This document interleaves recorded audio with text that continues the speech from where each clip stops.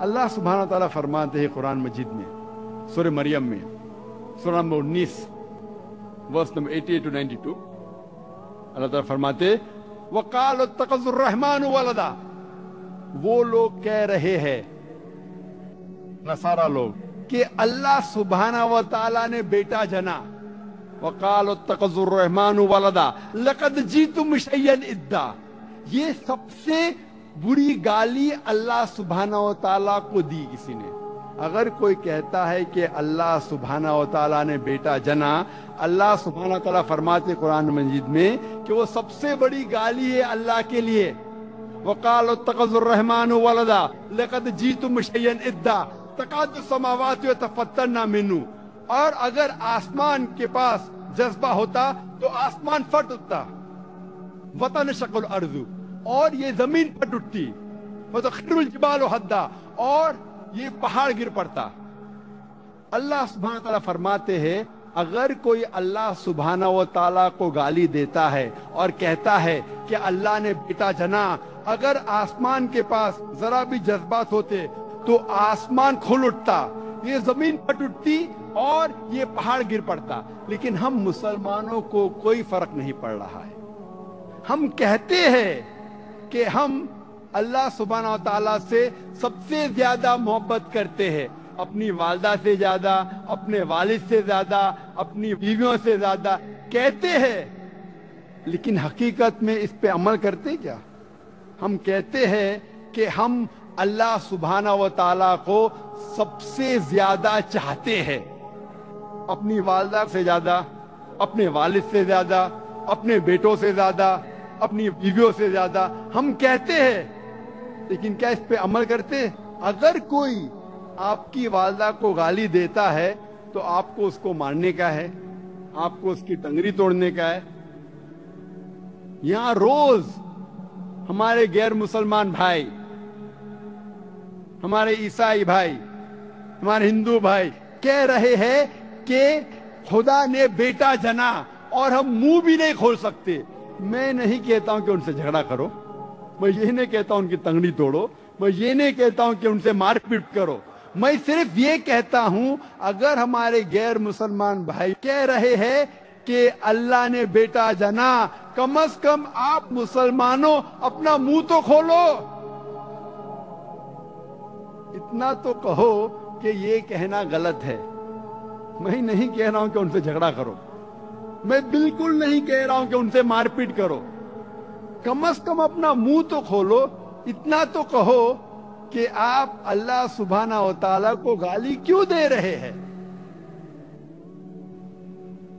ہم ان سے دعوت کرنے کی بات دور رہی، ہم ان کے ساتھ بن جاتے ہیں۔ مثال کے طور پہ، ابھی دو مہینے بعد ایک تہوار آئے گا کرسمس۔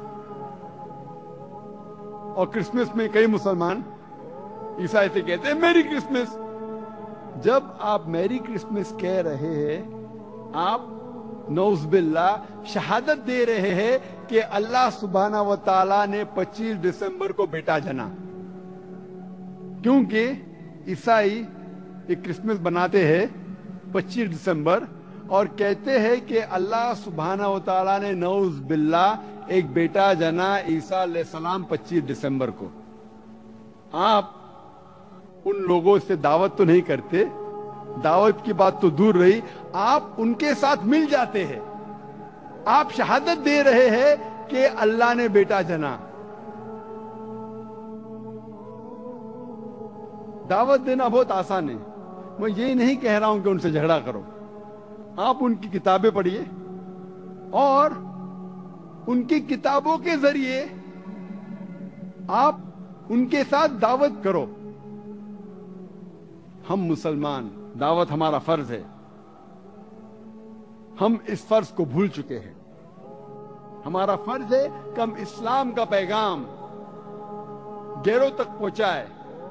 آج کی جو حالات ہیں، غیر مسلمان جو اسلام کے خلاف بات کر رہے ہیں۔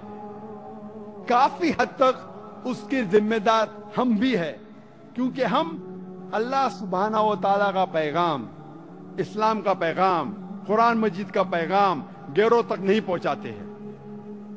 اللہ تعالیٰ فرماتے ہیں قرآن مجید میں، سورہ بقرہ میں، سورہ نمبر دو، آیت نمبر ایک سو گیارہ میں، وَقَالُوا لَن الْجَنَّةَ إِلَّا مَنْ كَانَ هُودًا وَنَصَارَى وہ لوگ کہہ رہے ہیں، یہود و نصارہ، کہ آپ مسلمان آپ جنت میں کبھی بھی نہیں جائیں گے۔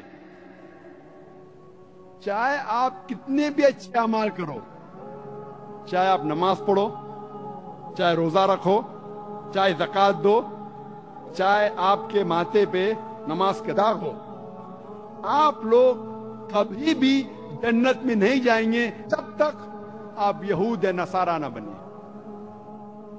اللہ تعالیٰ فرماتے دل کا مانی یہ ان کی بکواس ہے۔ بین ڈیزائر کل کہو ہاتھ بنانکم آپ اپنا بران پیش کرو۔ ان کو تم صادقین اگر آپ سچے ہیں۔ اور اگر اللہ تعالیٰ فرماتے ہیں کہ اگر کوئی بھی ڈینگے مارتا ہے بڑی بڑی باتیں کہتا ہے تو ان سے کہو، قل ہاتھ بنانکم ان کو تم صادقین آپ اپنا ثبوت پیش کرو اگر آپ سچے ہو۔